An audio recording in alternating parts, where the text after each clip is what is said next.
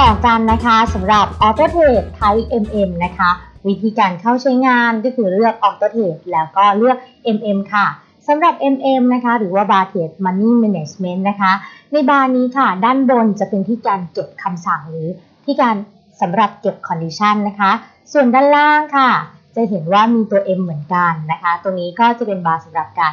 ตั้งคำสั่งหรือตั้ง Condition ซื้อขายค่ะ เรามาดูหลักการทำงานของ Type Money Management กันนะคะเริ่มต้นเลยเราไปเปิดที่ Portfolio ก่อนนะคะสำหรับ Type MM หรือ Money Management ค่ะ การตั้งเราจะต้องมาตั้งในบาร์เทด้านล่างนะคะ โดยบาร์นี้ค่ะ เราแนะนำให้ตั้งในฝั่งของขาซื้อนะคะ เพื่อเป็นการคำนวณความเสี่ยงที่เราจะยอมรับได้นั่นเองค่ะ เรามายกตัวอย่างนะคะ ซื้อหุ้นตัวหนึ่งกันค่ะสำหรับหุ้น TCAP ค่ะ TCAP นะคะ กด buy ค่ะ เราต้องการจะซื้อที่แคปค่ะ เมื่อที่แคปราคา 46 บาท 46 บาท ในช่องไพรก็ใส่ 46 บาทได้เลยค่ะสำหรับสต็อปไพรคือราคาที่เราจะยอมขายคัดลอสนะคะ เมื่อราคาลดมาถึงในที่นี้นะคะ เราเลือกไปที่ 43 บาท นะคะ จะเห็นได้ว่าถ้าเราซื้อที่ 43 แล้วไปขาย cut ขอโทษค่ะเมื่อเราซื้อที่ 46 แล้วไปขายที่ 43 นะคะ จะเห็นว่า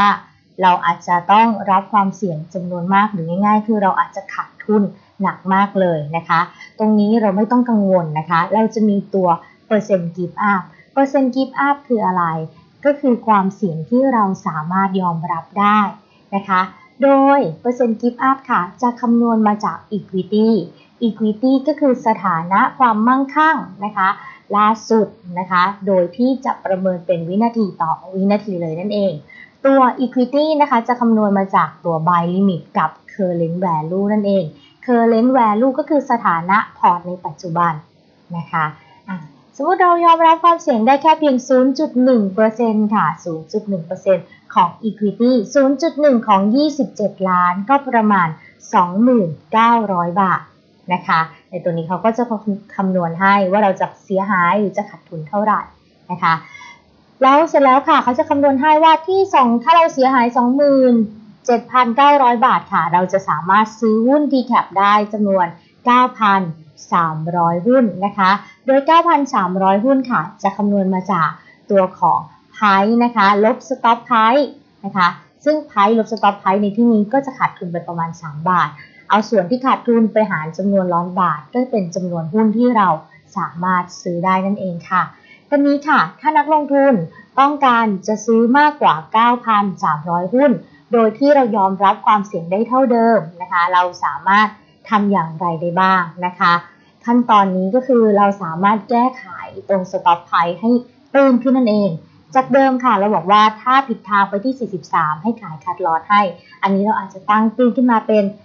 44 นะคะ 44 ตรงนี้ก็จะเห็นว่าเราจะซื้อได้จำนวนเพิ่มขึ้นนั่นเองค่ะ มาดูปุ่มถัดมาค่ะด้านข้างที่มีคำว่า Auto Stop Loss นะคะสำหรับนะคะการใช้งานตัว Auto Stop Loss ค่ะก็แค่เราติ๊กถูกเข้าไปนะคะ โดยการทำงานตรงนี้ค่ะ เขาจะส่งคำสั่งนะคะ ไปซื้อ TCAP ที่ราคา 46 บาท จำนวน 13,900 หุ้นนะคะ นี่คือส่วนแรกที่เขาทำงาน ส่วนที่ 2 ค่ะ เขาจะทำงานไปตั้ง condition หรือไปตั้งเงื่อนไข รอขายหุ้น ในกรณีที่หุ้นที่เราซื้อก็คือ TCAP นะคะ ราคาไม่ขึ้นอย่างที่เราต้องการ แต่มันดันลงผิดทางนะคะ เราลองกดเซ็นค่ะ อย่าลืมใส่พินนะคะ กดเซ็นได้เลยนะคะ โอเค เขาจะส่งคำสั่งไปซื้อบายที่แคป 13,900 หุ้นที่ราคา 46 บาทนะคะที่ราคา 46 บาท เหมือนกันค่ะ ไปดูที่ออโต้เทรดออโต้เทรดนะคะสำหรับไทย MM ที่แคปค่ะ เขาก็จะส่งคำสั่งไปรอขายค่ะทีแคปจำนวน 13,900 หุ้น เมื่อ TCAP ราคาลาร์น้อยกว่า 44 บาทนะคะหมายความว่ายังไง วันนี้ถ้าสมมติเราได้ของนะคะ เราได้ของไปเรียบร้อยแล้วจำนวน 13,900 หุ้น นะคะพรุ่งนี้เกิดตลาดเปิดมาค่ะ TCAP ไม่ได้ขึ้น ดังที่เราต้องการ แต่มันกลับผิดทางนะคะหล่นลงมาที่ 43.75 43.75 คือราคาน้อยกว่า 44 บาทนะคะตัว condition นะคะหรือตัว stop loss ที่เราตั้งไว้ค่ะ เขาจะส่งคำสั่งไปขาย TCAP จำนวน 13,900 หุ้นให้ทันที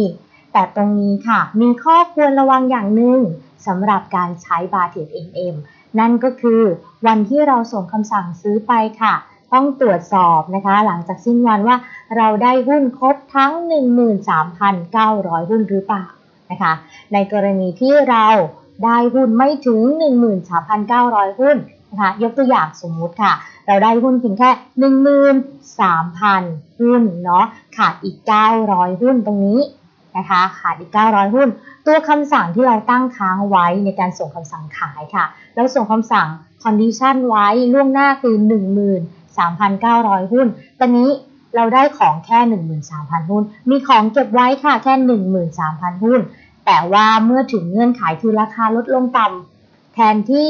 คำสั่งตัวนี้ค่ะ ยิงออกไปที่ตลาดเลยนะคะ ยิงออกไปขายให้ ขายให้จำนวน 13,900 หุ้น นะคะ แต่ว่าเรามีของแค่ 13,000 หุ้น มันก็จะไปเกิดการ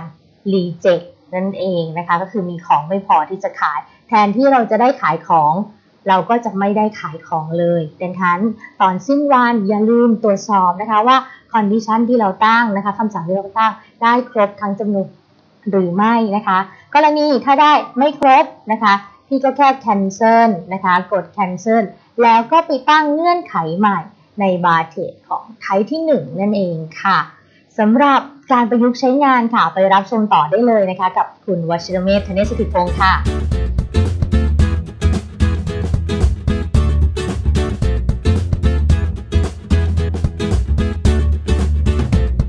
ต่อไปครับ Auto Trade Type MM Auto Trade Type MM นะครับ เป็น Auto Trade ที่เกิดจากการใช้ฟังก์ชัน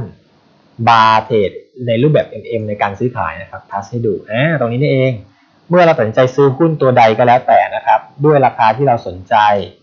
แล้วการวาง Stop Loss ที่โอเค